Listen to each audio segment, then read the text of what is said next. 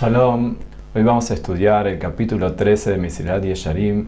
Vamos a comenzar con el estudio de una nueva cualidad, Midata Perishut, el apartamiento.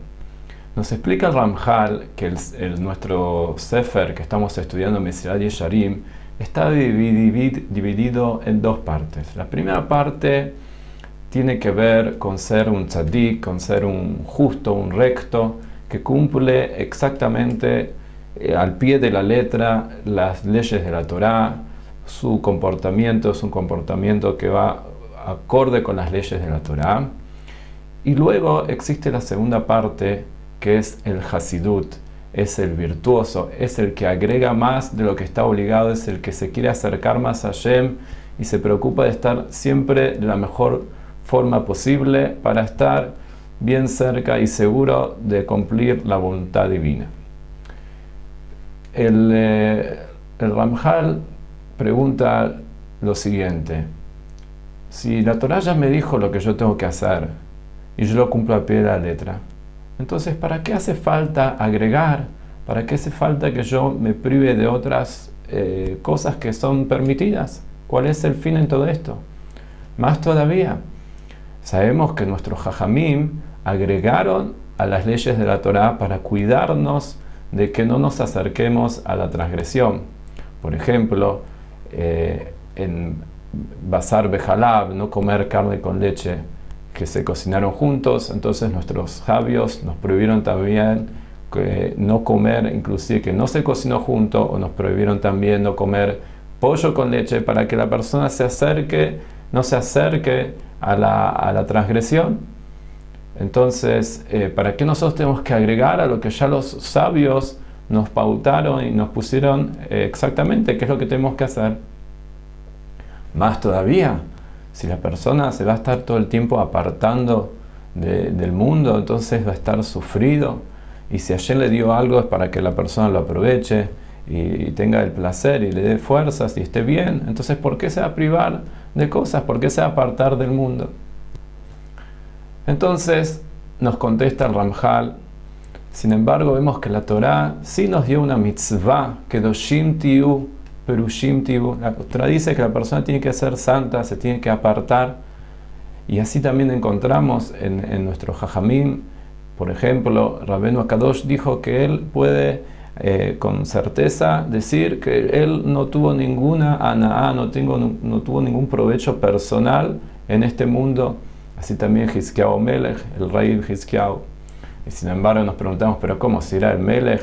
Y vemos que él vivió como, como vive un rey, como tiene que vivir un rey. Entonces, ¿qué quiere decir que no tuvo provecho de este mundo? Entonces, explica el Ramjal lo siguiente. Cuando la persona está utilizando de este mundo para su Audata y eso realmente es lo que él necesita, entonces no se llama que él está pasándose de la línea, sino que eso es lo que realmente necesita. Lo que la persona se tiene que cuidar es de no pasarse, no tomar de más a lo que él realmente no es necesario. Por ejemplo, la persona, eh, eh, dice el Ramjal, la bebida, la comida, no hay ningún problema. Si es kasher, está todo muy bien. Pero si, por ejemplo, va a empezar a tomar una bebida alcohólica y va a tomar y va a tomar y se va a emborrachar, eso lo puede conducir a que después haga acciones que no son buenas.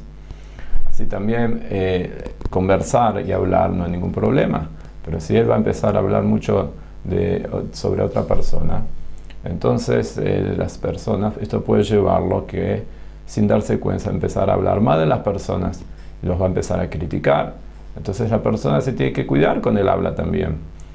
Y también en la forma de vivir, si la persona se va a acostumbrar a estándar de vida muy alto, entonces eh, después, cuando, si no va a poder estar a esa altura, no va a poder tener los medios para llevar la vida, a, cabo esa vida, entonces va a empezar a, es el fin de, justificar esa forma de vida, va a hacer que, empiece a buscar otros medios, va a buscar eh, formas de, engañar, de robar para obtener dinero, para poder llevar a, cabo esa forma de vida que él se pautó, y después va, no va a tener tiempo para estudiar, para, para hacer fila por eso entonces la persona, el primer motivo que se tiene que apartar un poco del mundo es buscar y pensar bien qué es lo que yo realmente necesito y qué es lo que yo podría eh, no, no utilizar, no, no, no, no me conviene estar tan atado al mundo. Más todavía, si después yo voy a sentirme mal cuando no lo voy a tener. Entonces, y más, dice el Ramjal, la persona tiene que ser un poco inteligente y pensar que a veces cuando la persona llega el momento de, que tiene la verá, la transgresión delante de él, él ya no, ya está. cuando llegó el momento, el hará, ya lo lleva y no, no se puede controlar. Por esa persona tiene que pensar un paso antes, tiene que saber cómo anticipar ese momento y alejarse de todo lo que le puede llevar a la verá.